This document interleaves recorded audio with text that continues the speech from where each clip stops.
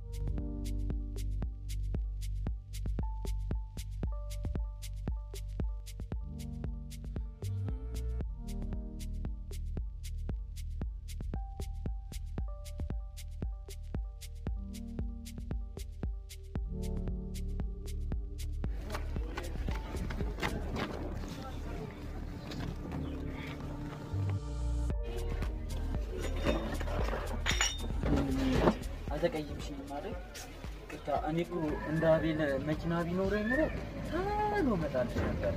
እኔ እኮ እንደ አቤል ቤት ቢኖረኝ ኑሮ ቤት እጋብዝሽ ነበር።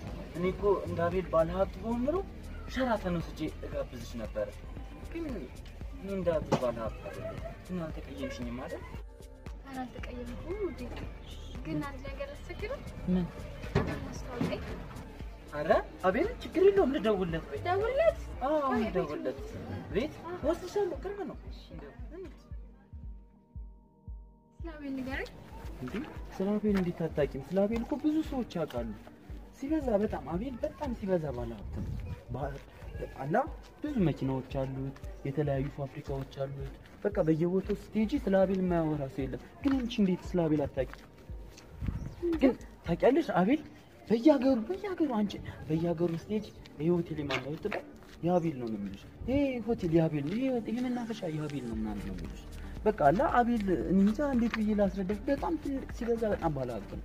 እንዲሁም አሁን እንጃ እርግጠኛ ባልሆንም ማለት ነው ከሀገራችን ሁኔታ እሱ ወይ ሶስተኛ ወይ ሁለተኛ ባለሀብት ይባላል አቤል ማለት እንዲህ በቃ ምን እንዴት ብዬ ልግለጽልሽ? አላ የሀገር የሀገር የሀገር ማለት ነው። የሀገር መኪና ያሉ በቃ ቆጥረሽ ራሱ አጨርሽው ቆጥረሽ ይሄ ምን ነበረ ስሙ እንዲሁም ይሄ ትልቁ መኪና ማለት ነው። ሊሞዝ ለሰርግ ምናምን ነገር እሱ መኪና ነፍ ነው ያለው። ነፍ ማለት ነው። እና እንዴ እንዲሁም ቤቱ እዛ ነው እዛ አይታይሽም ያኛው ያኛው ቤት። ሲያምር። እኮ እንዴ እንዲሁም ይሄ ይሄ ምን ምን- ምንም እኮ እንትን አይደለም ይሄኛው ቤት እንዲሁም ይሄ እንዴት ብዬ ላስረዳሽ በቃ። አላ ሆቴል የሚያክል ሌላ ቦታ ሆቴል ነው የምር ነው? እውነት? እንዴ?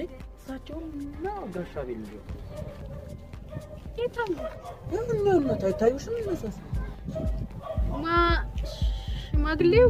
አው እሳቸው ብታይ የሌላቸው ነገር የለም። ብዙ ነገር አላቸው። ታውቂያለሽ። ቤት አላቸው፣ የተለያዩ ካምፓኒዎች አላቸው። እንዴ? ምን ነው? እሳቸው አዎ ምን ሆነሽ ነው? እንደውም ላንተ አገባቸዋለሁ። እንዴ? እኔስ?